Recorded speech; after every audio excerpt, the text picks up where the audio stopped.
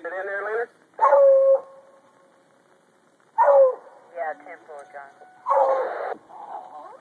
Somebody needs to be on the other side of the pond over there, where in the clear cut around the hog pen, and then somebody needs to stay on this side over there around them scrub pines and that dead end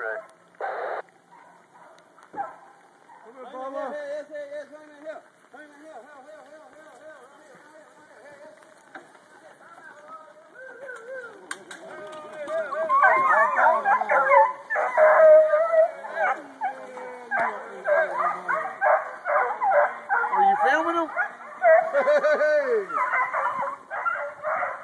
Ah, they coming to y'all. Be looking up in there.